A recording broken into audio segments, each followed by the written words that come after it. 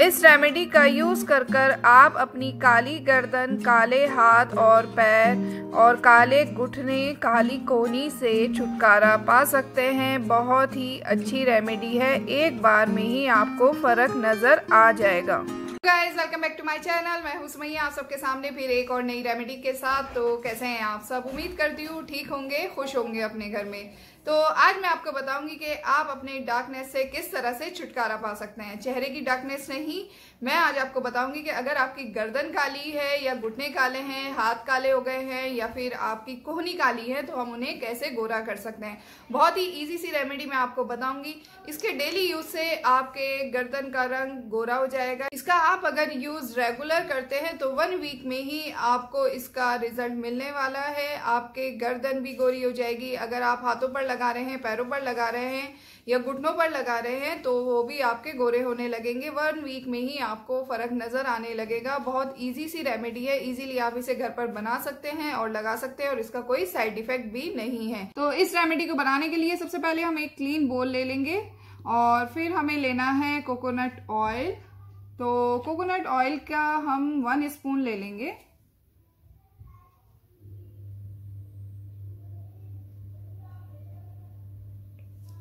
एक चम्मच हम कोकोनट ऑयल की ले लेंगे। हमारा सेकंड इंग्रेडिएंट है, वो है ये कोलगेट टूथपेस्ट आपको टूथपेस्ट ऐसा लेना है जो वाइट हो। तो एक चम्मच हम इसकी ले लेंगे।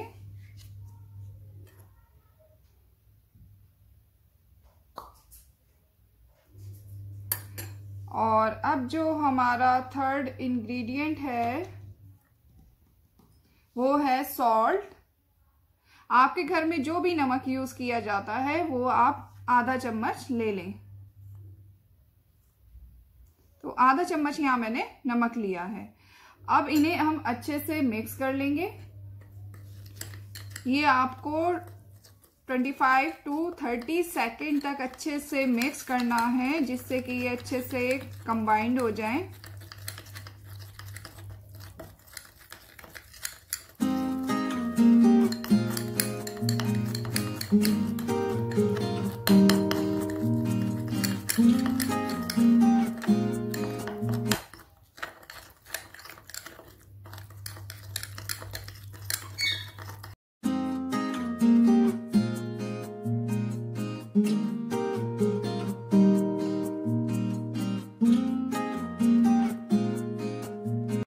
बताती हूँ कि इस रेमेडी को हमें किस तरह से अप्लाई करना है। तो मैं आपको अपने हैंड पर कर कर दिखा रही हूँ। जिधर भी आपको अप्लाई करना है, आप उधर कर सकते हैं। तो इस तरह से ये लेंगे और इस तरह से हम लगा लेंगे।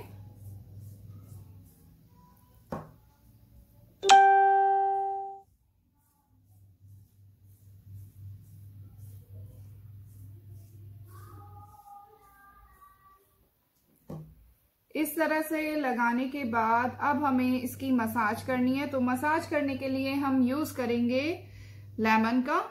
लेमन से हम मसाज करेंगे इस तरह से। आपको इसका थोड़ा थोड़ा इसे, इसका जूस निकालते रहना है। तो इस तरह से हम इसका थोड़ा थोड़ा जूस निकालते रहेंगे। ये मसाज आपको 15 मिनट तक करनी है। इससे क्या होगा कि जो भी हमारी डेड स्किन होगी, वो रिमूव हो जाएगी। अब मैं आपको बताती हूँ कि इसमें जो मैंने कोकोनट ऑयल का यूज़ किया है, वो हमारी स्किन को मॉइस्चराइज करता है, साथ ही हमारे स्किन से डेड सेल्स को निकालने में हेल्प करता है। और इसमें जो मैंने कोलगेट का यूज़ किया है, ये हमारे स्किन को लाइटन करने में हेल्प करता है। और इसमें जो मैंने सॉल्ट का यूज़ किया है, नमक का, ये भी हमारे स्किन से डेड सेल्स को निकालने में हेल्प करता है। जितनी भी हमारे हाथ पर गंदगी धूल डस्ट जमा हो जाती है, उसे ये बाहर निकाल देता है। और लेमन, आप जानते होंगे कि लेमन भी हमारे स्किन के लिए कितना अच्छा होता है, हमारे फेस के लिए भी बहुत ज़्यादा अच्छा होता है। ये भी हमारी डेड स्किन को रिमूव करता है, साथ ही हमारी स्किन को लाइटन वाइटन करने में हेल्प करता है। तो इस तरह से आप अच्छे से मसाज करेंगे इसकी 10 से 15 मिनट।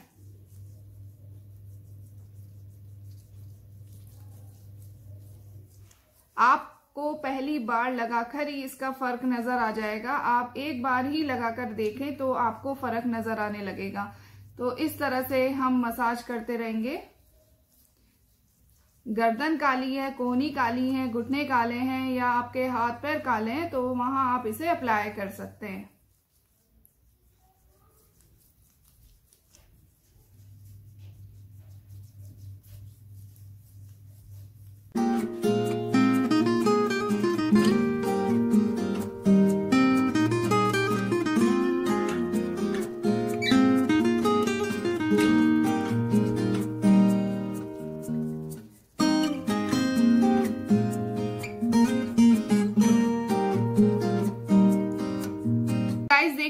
अपना हैंड वॉश कर लिया है। आपको फेयर लग रहा होगा। देखिए, दोनों हाथों में कितना डिफरेंस है। आपको फ़र्स्ट टाइम लगाकर ही इसका बहुत अच्छा रिज़ल्ट मिलेगा। आप खुद हैरान रह जाएँगे कि वाकई बहुत अच्छी रेमेडी है। देखिए, दोनों हाथों में डिफरेंस है। ये हाथ ज़्यादा गोरा है और ये कम है। तो ये बहुत अच्छी रेमेडी है। आप इस तरह से इसे रेगुलर यूज़ कर सकते हैं। इसका कोई साइड इफ़ेक्ट नहीं है। तो जिधर भी आप अप्लाई करना चाहते हैं कोनी काली है, घुटने काले हैं या गर्दन काली है या हाथ पैर आपके काले हैं तो आप वहाँ इसे अप्लाई कर सकते हैं। इसका बहुत अच्छा आपको रिज़ल्ट मिलेगा और इजीली आप इसे घर पर बना सकते हैं और लगाना भी इजी है। तो इस तरह से आप इसे ज़रूर ट्राई करिएगा। देखिए तो तीनों ही चीज़ें आपको इजीली घर पर मिल जाएँगी। नमक का इस्तेमाल भी हम अपने किचन में करते हैं खाना बनाने में और कोकोनट ऑयल का भी हम यूज़ करते हैं अपने बालों में लगाने के लिए। और जो मैंने इसमें कोलगेट लिया है, ये तो आपके घर में मिल ही जाएगा। और अगर कोलगेट आप यूज़ नहीं करते तो कोई दूसरा पेस्ट ले सकते हैं, लेकिन वो वाइट होना चाहिए। तो इस तरह से इस रेमेडी को आप ट्राई करें, आपको इसका रिज़ल्ट बहुत अच्छा मिलने वाला है। आप मेरे से कुछ पूछना चाहते हैं तो कमेंट्स करके पूछ सकते हैं। मैं उसका रिप्लाई आपको ज़रूर दूँगी और अपना रिज़ल्ट मेरे साथ ज़रूर शेयर करिएगा कि आपको मेरी ये रेमेडी कैसी लगी है। और वीडियो अच्छी लगी है तो लाइक शेयर ज़रूर कर दीजिएगा। ज़्यादा से ज़्यादा शेयर करिएगा अपनी फैमिली में फ्रेंड्स में रिलेटिव्स में और ट्राई ज़रूर करिएगा। अगर आप शेयर भी नहीं करें तो ट्राई ज़रूर करिएगा। और वीडियो अगर आप फ़र्स्ट टाइम देख रहे हैं तो प्लीज़ चैनल को सब्सक्राइब कर लीजिए, साथ ही बेलाइकन को प्रेस कर दीजिए।